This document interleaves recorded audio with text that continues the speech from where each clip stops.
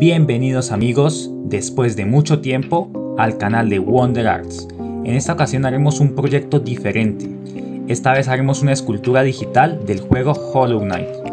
Esta idea surgió del último video de uno de mis canales favoritos, Sculptor Geek, quien hizo un diorama de este juego y yo quiero recrearlo a mi manera y en digital. Así que si quieres aprender cómo hacer esculturas digitales, quédate en este video. Antes de empezar debemos tener descargado un programa llamado Blender, que es muy popular para hacer este tipo de esculturas y lo mejor es que es gratis. Y no te preocupes si no sabes usarlo, pues empezaremos con una pequeña explicación de los comandos para este proyecto e incluso dejaré una lista de ellos en la descripción. Bien, empezaremos eligiendo un archivo nuevo y como vemos aparece un cubo en el centro. Lo primero que podemos hacer es presionar la rueda del mouse y moverlo para ver cómo cambia el ángulo de nuestra cámara. Ahora también podemos presionar Shift y la rueda del mouse al mismo tiempo que lo movemos y con esto nos estaremos desplazando por el área de trabajo. Y por último podemos girar la rueda del mouse y naturalmente haremos zoom para acercarnos o alejarnos del objeto. Esos son los comandos que podemos usar para movernos por el área de trabajo. Ahora vamos a seleccionar el cubo y presionaremos la letra S, con la cual podemos escalar su tamaño. E incluso después de presionar la S, podemos presionar las letras X, Y o Z para poder escalar el cubo en el eje indicado. Si presionamos la letra R, vamos a rotar la figura seleccionada.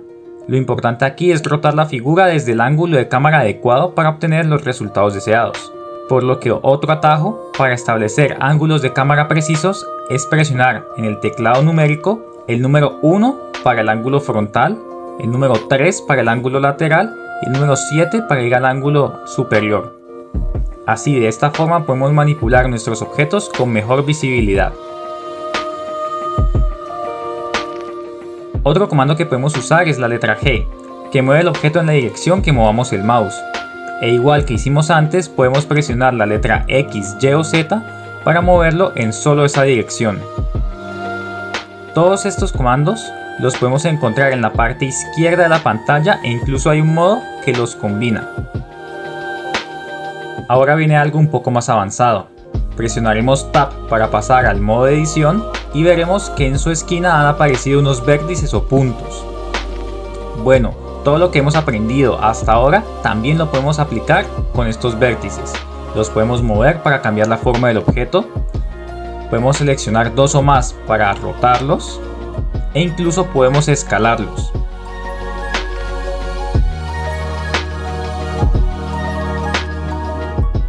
Pero cuando miras de frente al cubo y quieres seleccionar todos los vértices, vemos que solo se seleccionan los de adelante. Por eso, otro comando importante es Alt y Z, para que podamos volver invisible el objeto y poder seleccionar todos los vértices hasta atrás, lo cual nos será muy útil más adelante. También podemos usar el comando control más R para generar una división en la malla de vértices. Esta división se podrá mover hasta que cliquemos en el punto que queramos dejarla.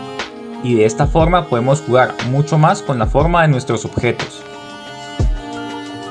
Si queremos hacer un corte justo por la mitad, podemos dar clic derecho y la división se centrará.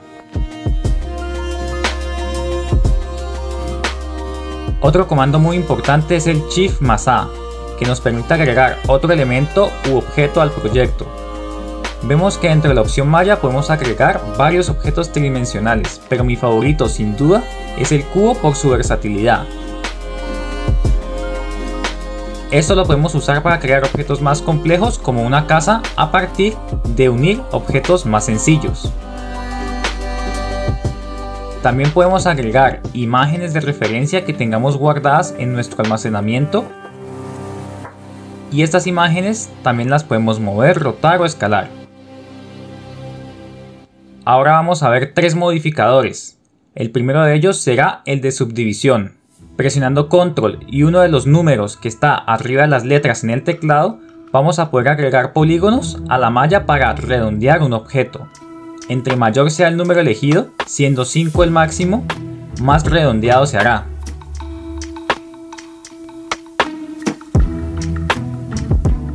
Este modificador podemos combinarlo con el comando de corte, de forma que si acercamos el corte hasta uno de los bordes, este dejará de ser redondeado y se volverá como un filo.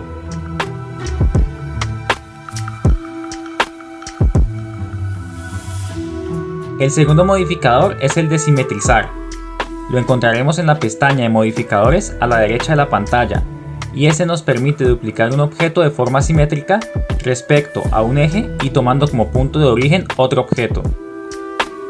Y el último modificador que veremos será el de la booleana. También lo encontraremos en la pestaña modificadores y este nos permite cortar o unir un elemento sobre otro. Por ejemplo, si hacemos booleana de diferencia y seleccionamos las esferas, vamos a dejar el hueco donde estaban estas tocando a nuestro objeto principal. Pero si hacemos booleana de unión, el objeto principal va a aparecer con las dos esferas unidas a él. Estos serán todos los comandos y acciones que usaremos y en general creo que son los más útiles y básicos de Blender. Así que ahora sí, empecemos con el diorama. En un archivo nuevo vamos a agregar una imagen de referencia con Shift A y esta será del Hollow Knight. Ahora volveremos invisible el cubo con Alt Z, presionaremos Tab para ver sus vértices y los moveremos para acercarnos a la forma de su cabeza. Vamos a hacer una subdivisión con Control más 4. Hacemos un corte vertical y otro horizontal con Control R y seguimos moviendo los vértices hasta dar con la forma de su cabeza. Ahora presionaremos el número 3 del pad numérico para tener una vista lateral y escalamos la cabeza en el eje Y para que se vea proporcionada. Agregamos un cilindro y lo ubicamos en la zona de los ojos. Vamos a escalarlo y rotarlo desde todos los ángulos para buscar su posición. y aplicaremos el modificador simetrizar. También podemos usar una subdivisión y cortes para que el cilindro quede más pulido. Finalmente vamos a utilizar el modificador booleana de diferencia para hacer los huecos de los cilindros en la cabeza, así que es importante que estos cilindros estén bien posicionados.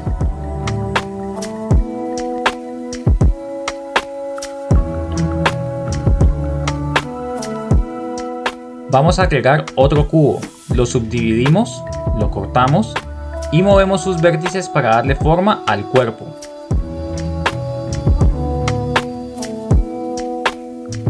Posteriormente agregamos otro cubo, lo subdividimos y simetrizamos respecto al cuerpo y empezamos a modificar su forma para hacer las piernas. Para hacer los cuernos del caballero vamos a agregar un cubo, lo subdividimos, lo agrandamos en el eje Z, abrimos su malla con Tab y lo cortamos con Control R repetidas veces. Escalaremos cada uno de estos cortes y los moveremos para que se adapten a la imagen de referencia. Ahora presionaremos 3 para ir a la vista lateral y abrimos la malla en el modo invisible. Seleccionaremos todos los vértices del lado izquierdo y los escalaremos en el eje Y para acercarlos. Hacemos lo mismo en el lado derecho y escalamos los vértices de los cortes finales para que sean más pequeños y el cuerno termine en punta.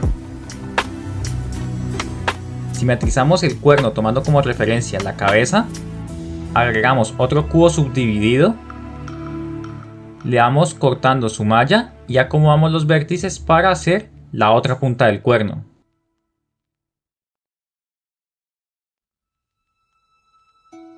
Finalmente la simetrizamos respecto a la cabeza. Ahora para hacer la espada vamos a agregar un cubo.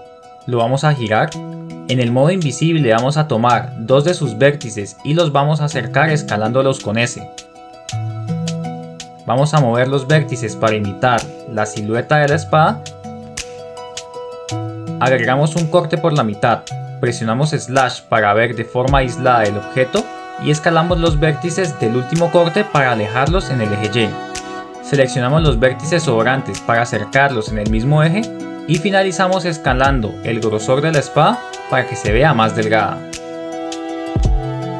Ahora agregamos un cilindro, lo alargamos en el eje Z, lo giramos y movemos para hacer que sea el mango de la espada A mí me gusta subdividirlo y agregarle cortes en sus extremos para que se vea más pulido. Y posicionamos el mango y la espada detrás del cuerpo.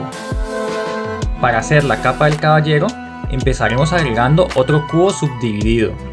Haremos cortes en su malla y posicionaremos estos cortes para hacer uno de los pliegues de la capa desde la vista frontal.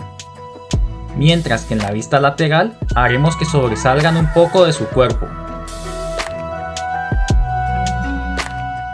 Ahora copiamos y pegamos varias veces este objeto, moviéndolos al lado y haciendo con ellos la silueta de los otros pliegues, al tiempo que los vamos curvando desde la vista lateral.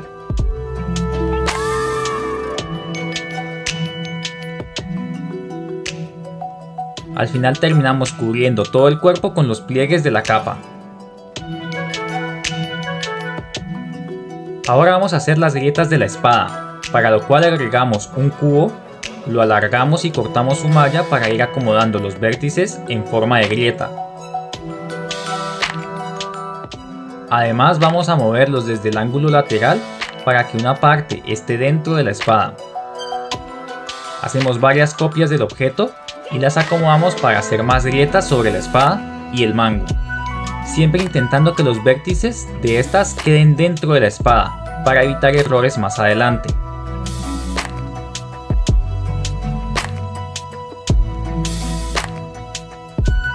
Para que la grieta se vea más uniforme, podemos subdividir los objetos y hacer cortes en sus extremos para que mantengan su forma.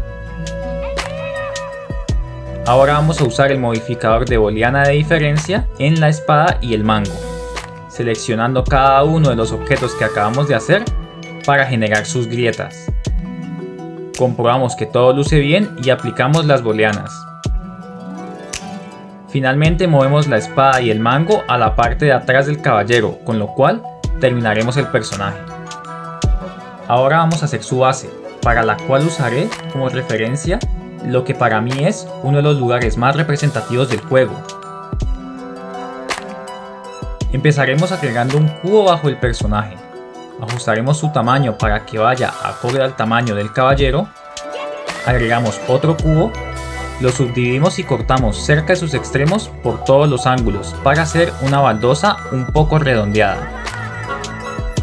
La movemos hasta el borde superior de la base la copiamos y modificamos su tamaño y volvemos a copiar este par de baldosas para hacerlas del otro lado.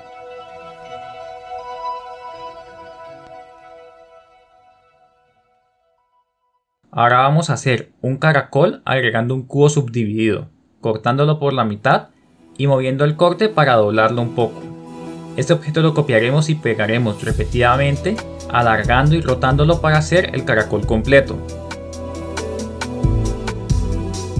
Seleccionaremos todas las partes y las moveremos hasta uno de los laterales del cubo de base, cortando por la mitad el caracol para que este sobresalga como un relieve.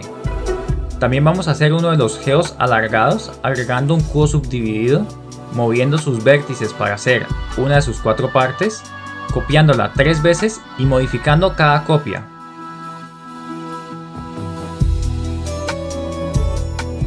Y lo pondremos sobre el lateral de la base.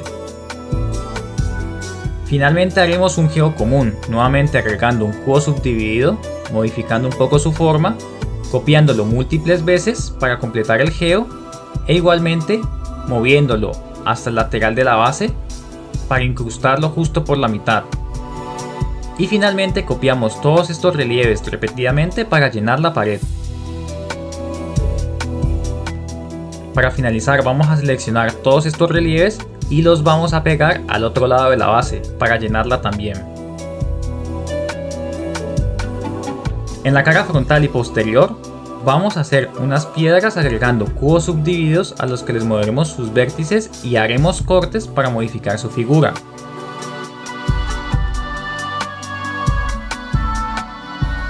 Llenamos la cara frontal de piedras, las copiamos y las pegamos en la parte trasera de la base.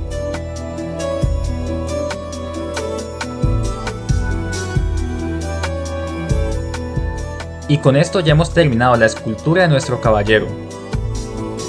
es importante que guardemos dos copias del archivo, una que haga exactamente como la hemos dejado y la otra la usaremos como base para hacer la sombra. Ahora para hacer esta empezaremos agregando una referencia de su cabeza y modificaremos los vértices de los cuernos para cambiar su forma.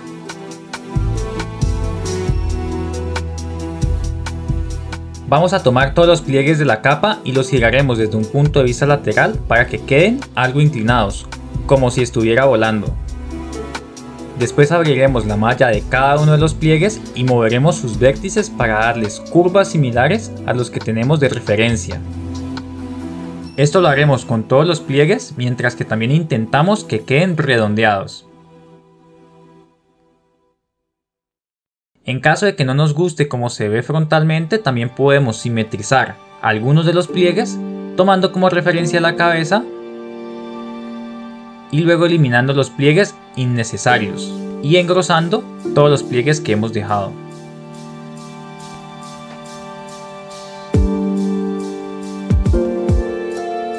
Ahora vamos a construir la base de la sombra, que es un poco diferente a la del caballero, ya que será más alta y tendrá unos pilares. Empezaremos agregando un cubo para la base y lo escalaremos a nuestro gusto. Luego agregaremos otro cubo subdividido y cortaremos cerca de sus bordes para hacer la baldosa. La escalamos y posicionamos. Luego la copiamos para hacer las otras baldosas y movemos un poco sus vértices para cambiar sus tamaños. También haremos las partes de la columna modificando los vértices de un cubo cortado. Copiamos varias veces este objeto para hacer la columna y modificamos los dos primeros y últimos para cambiar su tamaño. Ahora cada objeto lo vamos a simetrizar con respecto al cubo de base. Y los vamos a copiar y a llevar hasta atrás para cubrir el cubo con las columnas. También vamos a hacer unos ladrillos por debajo de las baldosas y los simetrizamos todo con el fin de asemejarnos más al escenario del juego. Para rellenar el cubo de base voy a utilizar parte de las piedras de la base que ya hicimos en la primera escultura y las voy a pegar en la cara frontal. También vamos a copiar los geos y caracoles que vamos a pegar en la cara lateral. Para asegurarnos que nuestros personajes y bases queden como queremos, podemos copiarlos y pegarlos en un archivo nuevo, donde ajustaremos la altura de sus bases y el ángulo de sus cabezas para que crucen sus miradas. Y estos cambios los haremos en el archivo de cada personaje. Recuerden aplicar las transformaciones de la cabeza para que al girarla no se pierda el hueco de sus ojos. Terminamos de rellenar de piedras, geos y caracoles la base y las copiamos a sus lados opuestos.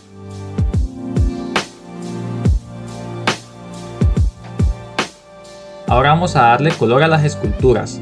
Aproveché para hacer un nuevo caracol que me gusta más y seleccionando una de sus partes voy a propiedades de material a la derecha de la pantalla. Le doy clic a nuevo, le pongo de nombre caracol y busco un color de base azulado. Disminuyo la barra de especularidad para que no refleje mucha luz y aumento la barra de rugosidad. Para ver cómo se ve el material, tenemos que presionar la última esfera que hay en la esquina superior derecha. Como aún no he puesto focos de luz, voy a agregarlos con Shift A. Los direcciono y aumento su intensidad para iluminar la escena. No me convence el color del caracol, así que selecciono uno más claro y a cada una de las partes de este le aplico el material. Así todos van a tener el mismo color y si hago algún cambio, todas las piezas de ese material también van a cambiar. Vuelvo a rellenar la base con los nuevos caracoles. Le aplico un nuevo material negro a la base. Y a los geos les voy a poner un color grisáceo pero subiéndoles su propiedad de especularidad.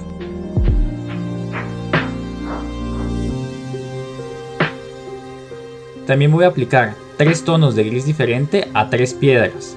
cada una guardándola como un material diferente y aplicando estos al resto de piedras. Y de la misma forma voy a aplicar dos colores diferentes a las baldosas de la base. Ahora aplicaremos un nuevo material de color morado a los pliegues de la capa del caballero. Le aplicamos otro material de color negro a su cuerpo y piernas. Un material grisáceo a la espada y mango, subiéndole sus propiedades de especularidad y metálico y bajándole la rugosidad. Y a la cabeza y cuernos les pondré un material blanco con alta rugosidad. Ahora con Shift A vamos a agregar una cámara la voy a dirigir hacia el caballero y presionando 0 en el pad numérico vamos a ver el punto de vista de la cámara, así que la vamos a ir moviendo para enfocar mejor a nuestro personaje. Agregamos un plano con Shift A, lo giraremos para que quede vertical y lo posicionaremos detrás del personaje. Le daremos un color morado y modificaremos la intensidad de los focos de luz para que la escena quede mejor iluminada. Finalmente pondremos otro plano en la zona de los ojos e incluso lo podemos subdividir para que se vuelva redondo. Lo vamos girando desde todos los ángulos hasta que encaje en el ojo. Lo simetrizamos tomando como referencia la cabeza y le cambiamos el material a un color negro sin especularidad. Finalmente presionamos 0 y revisamos que todo esté como queremos y presionamos F12 para hacer un render de la escena. Ahora vamos a aplicar materiales a la escultura de la sombra, haciendo las baldosas, columnas, caracoles y geos de la misma forma que hicimos en la escultura anterior. Pero poniendo materiales azulados y morados en las piedras, detalle que también cambiaremos en la escultura del caballero. Ahora aplicaremos un material negro a los pliegues de la capa, a la cabeza y a los cuernos de la sombra, e igual que hicimos antes, vamos a agregar un plano para darle el color a los ojos, solo que esta vez será blanco y también vamos a elegir blanco en el color de emisión y a subir la intensidad de emisión, de forma que los ojos emitan una luz blanca. Terminamos dándole un color gris a la espada y subiendo su propiedad de metálico. Agregamos un plano morado para hacer un fondo. Agregamos luces y una cámara También añadimos pequeñas esferas negras y en desorden flotando detrás de la sombra.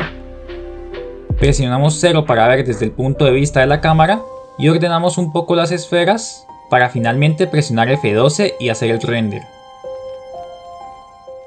Ahora vamos a copiar ambas esculturas en un mismo archivo, una frente a la otra.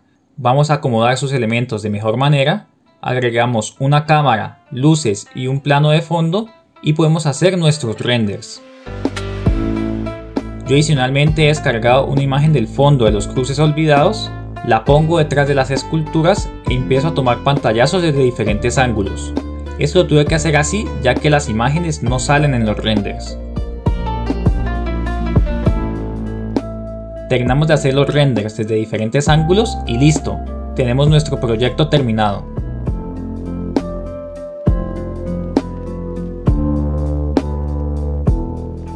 Este es probablemente el video más largo y desafiante que he hecho hasta ahora. He tratado de resumir todas las herramientas y procesos de la mejor forma y aún así ha quedado larguísimo. Sin embargo, el resultado me ha gustado mucho.